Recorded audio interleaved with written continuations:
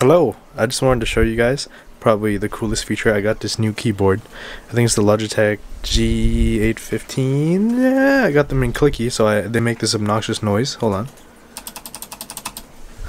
So, you know, I'm one of those people. So I just wanted to show you guys like a feature that I really like. So, you see the you see the lighting, right? Okay, come up here, go to presets. It's a preset. It is screen sampler. Very cool. I'll click on that. Now, notice it's all black here, okay? Everything's all black here. Now, we'd say just click on here. It's lit up because, you know, shout out to Jeff. He's got the green going on, got the white going on, got the white going on, a little bit of blue right here.